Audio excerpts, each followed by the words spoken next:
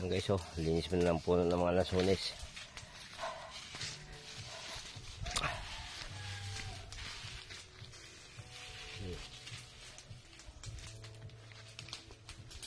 Para mamunga na.